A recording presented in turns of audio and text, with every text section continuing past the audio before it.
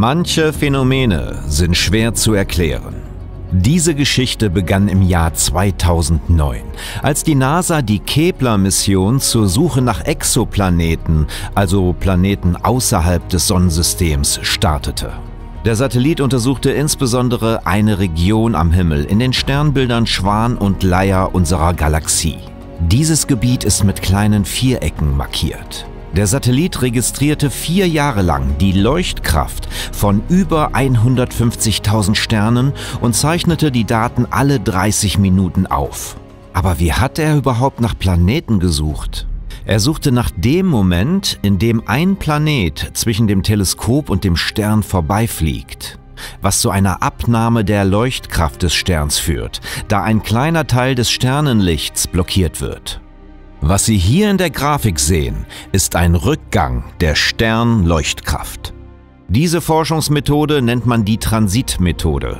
Doch bei der Suche nach Exoplaneten stießen die Forscher auf eines der seltsamsten Rätsel unseres Universums. Lassen Sie mich erklären, worum es geht. Um dies zu verdeutlichen, zeige ich Ihnen, wie ein gewöhnliches Diagramm der Leuchtkraft eines Sterns aussieht, wenn ein Planet mit der Transitmethode entdeckt wird. Jupiter ist der größte Planet in unserem Sonnensystem. Es gibt keine Planeten, die seine Größe deutlich übertreffen. Ein Planet von der Größe des Jupiters verringert die Sternhelligkeit um etwa 1%. Wenn es sich um die Erde handelt, deren Radius elfmal kleiner ist als der des Jupiters, ist ihr Signal in dem Diagramm kaum zu erkennen. Kommen wir nun zurück zu unserem Rätsel. Eine Gruppe von Forschern und Liebhabern untersuchte die Daten des Kepler-Teleskops und suchte nach neuen Mustern, bis sie auf das hier stießen. Es gab ein seltsames Signal, das von einem Stern namens KIC 8462852 ausging, der 1480 Lichtjahre von der Sonne entfernt ist. Im März 2011 sank die Leuchtkraft des Sterns um bis zu 15 Prozent. Zur Erinnerung, selbst die größten Planeten verursachen einen Rückgang der Sternleuchtkraft um 1 Prozent. Normalerweise dauern Transite ein paar Stunden, aber in diesem Fall dauerte er eine Woche. Und dann kehrte die Helligkeit innerhalb weniger Tage auf den Normalwert zurück. Außerdem war das Signal asymmetrisch, was bedeutet, dass das Objekt, das das Licht des Sterns blockiert, nicht rund wie ein normaler Planet war. Das heißt, es ist alles andere als ein normaler Planetentransit. Dann passierte nicht mehr viel. Bis Februar 2013. Dann begann der wahre Wahnsinn. Das Tabis Sternphänomen. Bitte abonniere unseren Kanal und drücke den Like-Button. Wie ich bereits erwähnte, traten mehrere Einbrüche in der Lichtkurve auf, die 100 Tage lang andauerten. Außerdem waren sie alle unregelmäßig und unvorhersehbar. Hier sehen Sie einige Beispiele von Lichtkurven in verschiedenen Zeiträumen. Man kann leicht erkennen, wie stark diese Kurven schwanken. Sie haben verschiedene unregelmäßige Formen, die sich nicht ähneln und auch die Dauer ist unterschiedlich. An einer Stelle ist die Leuchtkraft des Sterns um bis zu 20 Prozent gesunken. Dies deutet darauf hin, dass das Objekt, das das Licht blockierte, einfach gigantisch war. Seine Fläche müsste zum Beispiel tausendmal größer sein als die der Erde. Die Forscher mussten herausfinden, was mit diesem Stern los war und sein Verhalten erklären. Der Stern wurde schließlich Tabis Stern genannt, nach Tabeta S. Bojajian, der leitenden Studienautorin, die über die Entdeckung berichtete. Bei jungen Sternen, die noch keine protoplanetare Scheibe aus Glas und Staub haben, kann ein deutlicher Rückgang der Leuchtkraft beobachtet werden. Diese Scheibe kann das Licht blockieren, aber Tabis Stern scheint nicht jung zu sein. Die zweite Hypothese führte diesen Leuchtkraftverlust auf eine große Anzahl von Kometen zurück. Das Problem bei dieser Version ist jedoch, dass es ziemlich viele Kometen geben muss, vielleicht tausend vielleicht sogar Zehntausende von Kometen, um einen solchen Effekt zu erzielen.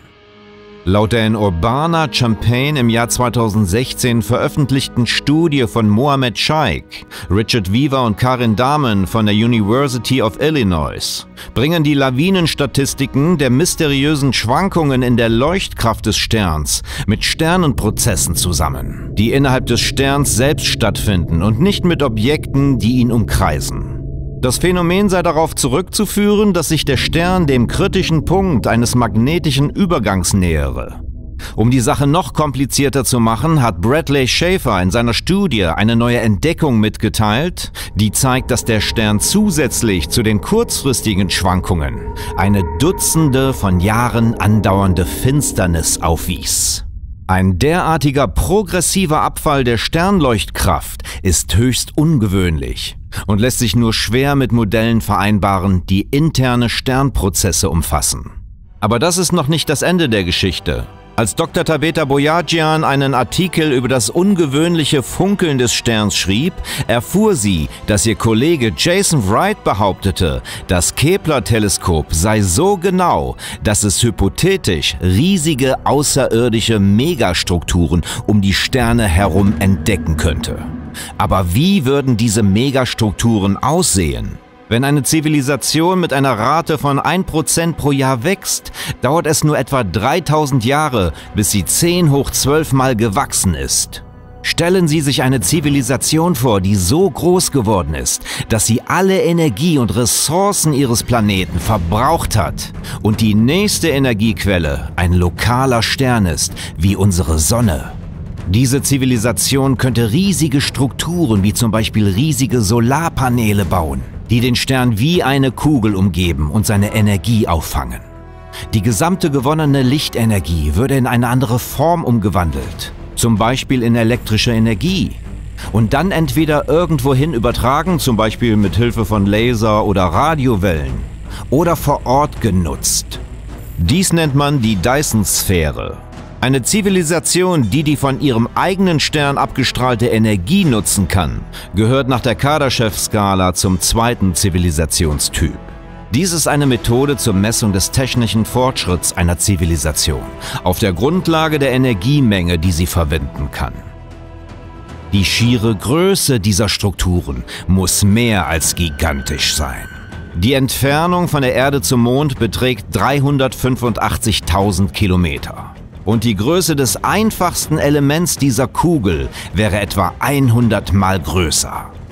Wenn wir außerdem davon ausgehen, dass diese Struktur von der Sonne auf bis zu 1000 Kelvin erhitzt wird, dann beträgt der Radius dieser Struktur etwa 23 Millionen Kilometer, was innerhalb der Umlaufbahn des Merkurs liegt.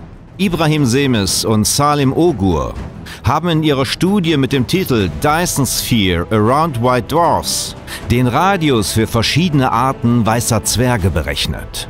Die Ergebnisse liegen zwischen 2 und 5 Millionen Kilometern und die Menge an Materie, die benötigt wird, um solche Sphären mit einer 1 Meter dicken Struktur zu erzeugen, entspricht etwa der Größe eines Mondes.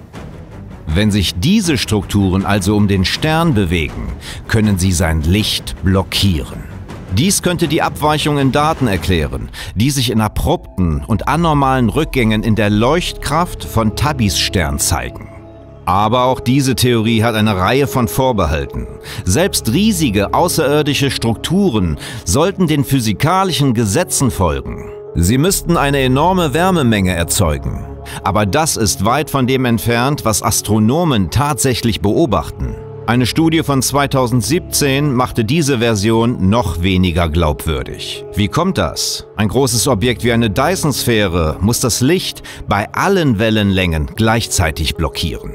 Die Forscher fanden heraus, dass das Infrarotlicht des Sterns weniger stark gedämpft wird als sein UV-Licht. Jedes Objekt, das größer als Staubpartikel ist, wird alle Lichtwellenlängen gleichermaßen dämpfen, wenn es vor Tabis Stern vorbeizieht. Dies bedeutet, dass die das Licht blockierenden Objekte nicht größer als ein paar Mikrometer im Durchmesser sein können.